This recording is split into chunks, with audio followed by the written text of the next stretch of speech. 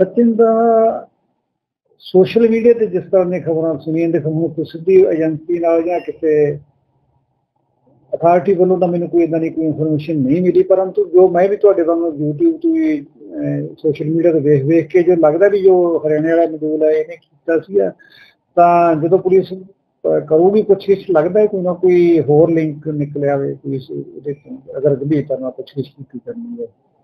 ਜਿਸ ਤਰ੍ਹਾਂ ਗੋਲਡੀ ਬਰਾੜ ਨੂੰ ਕਿਹਾ ਸੀ ਸਰਕਾਰ ਨੇ ਕਾਫੀ ਸਮਾਂ ਪਹਿਲਾਂ ਵੀ ਲੈ ਕੇ ਆਵਾਂਗੇ ਹਲੇ ਤੱਕ ਉਹਦਾ ਕੋਈ ਅਹ ਉਹਦਾ ਬੇਟਾ ਰੈੱਡ ਕਾਰਨ ਤਾਂ ਜਾਰੀ ਹੋਇਆ ਹੋਇਆ ਹੈ, ਪਰ ਕਾਰਵਾਈ ਦੇਖੋ ਹਾਈ ਕਠਨ ਹੈ ਜਾਂ ਸਰਕਾਰ ਢਿੱਲੀ ਚੱਲ ਰਹੀ ਹੈ ਤਾਂ ਗਵਰਨਮੈਂਟ ਤਾਂ ਦੱਸ ਸਕਦੀ ਹੈ। ਪਰੰਤੂ ਜੇ ਸਰਕਾਰ ਚਾਹੇ ਤਾਂ ਹੋ ਸਕਦਾ ਕੋਈ ਵੱਡੀ ਗੱਲ ਨਹੀਂ ਹੈ। ਇਹਨਾਂ ਨੂੰ ਆਪਣੀ ਜਿਹੜੀ ਐਫਰਟ ਜਾਰੀ ਰੱਖਣੇ ਚਾਹੀਦੇ ਨੇ। ਤੇ ਮੇਨ ਜੜ ਤਾਂ ਉਹੀ ਹੈ ਕਿਉਂਕਿ ਸਰਕਾਰ ਦੇ ਮੂੰਹ ਤੇ ਇੱਕ ਚਪੇੜ ਹੈ ਵੀ ਜੋ ਉਹ ਸ਼ਰੇਆਮ ਬਦਮਾਸ਼ ਕਹਿ ਰਿਹਾ ਸੀ, ਇੰਨੇ ਕਰੋੜ ਰੁਪਈਆ ਕਮਾ ਰਹੇ ਹਾਂ, ਅਸੀਂ 5 ਕਰੋੜ ਕਮਾ ਰਹੇ ਹਾਂ, ਅਸੀਂ 7 ਕਰੋੜ ਕਮਾ ਰਹੇ ਹਾਂ।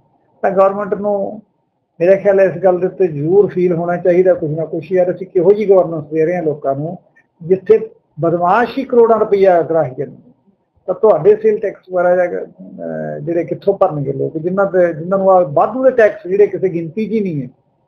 ਉਹ ਗਵਰਨਮੈਂਟ ਇਹਨਾਂ ਦੇ ਲੋਕਾਂ ਦੇ ਉੱਤੇ ਥੋਪੇ ਜਾ ਰਹੇ ਨੇ। ਤਾਂ ਟੈਕਸ ਪੇਅਰ ਕਿਹੜੇ ਪਾਸੇ ਜਾਊਗਾ?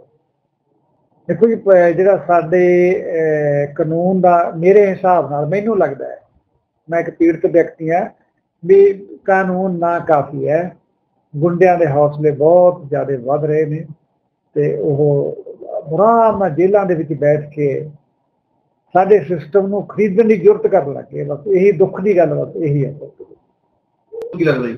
ਮੈਨੂੰ ਇਹ ਲੱਗਦਾ ਵੀ ਦੇਖੋ, ਜਿੰਨੇ ਵੀ ਸਾਡੇ ਰਾਜਨੀਤਿਕ ਲੋਕ ਨੇ, ਚਾਹੇ ਉਹ ਸੱਤਾ ਧਿਰ 'ਚ ਨੇ, ਚਾਹੇ ਉਹ ਵਿਰੋਧ ਪੱਖ ਦੇ ਵਿੱਚ ਨੇ, ਕੋਈ ਵੀ ਇਸ ਵਿਸ਼ੇ ਦੇ ਉੱਤੇ ਬਿਆਨ ਨਹੀਂ ਦੇ ਰਿਹਾ, ਇੱਕ ਵੀ ਗੱਲ ਨਹੀਂ ਕਹਿ ਰਿਹਾ ਵੀ ਯਾਰ ਇਹ ਇੰਨਾ ਪੈਸਾ ਇਕੱਠਾ ਕਰ, ਕਿਵੇਂ ਕਰ ਰਿਹਾ ਹੈ?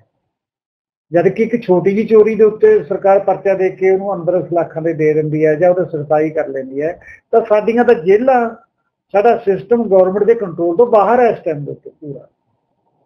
ਗਵਰਨਮੈਂਟ ਚਾਹ ਕੇ ਵੀ ਜੇਲ੍ਹਾਂ 'ਚੋਂ ਨਸ਼ਾ ਨਹੀਂ ਬੰਦ ਕਰ ਸਕਦੀ ਜੇਲ੍ਹਾਂ ਦੇ ਵਿੱਚ ਫੋਨ ਨਹੀਂ ਬੰਦ ਕਰ ਸਕਦੀ। ਮੁੱਖ ਮੰਤਰੀ ਸਾਹਿਬ ਦੇ ਕੋਲ ਹੀ ਗ੍ਰਹਿ ਮੰਤਰਾਲਾ ਉਹਨਾਂ ਦੇ ਕੋਲ ਹੀ ਅਹ, ਜਿਹੜੀ ਜੇਲ੍ਹ ਮੰਤਰੀ ਵੀ ਉਹ ਆਪ ਨੇ। ਤਾਂ ਦੇਖੋ ਜੇਲ੍ਹਾਂ ਦਾ ਹਾਲ ਕੀ ਹੈ ਅੰਦਰੋਂ।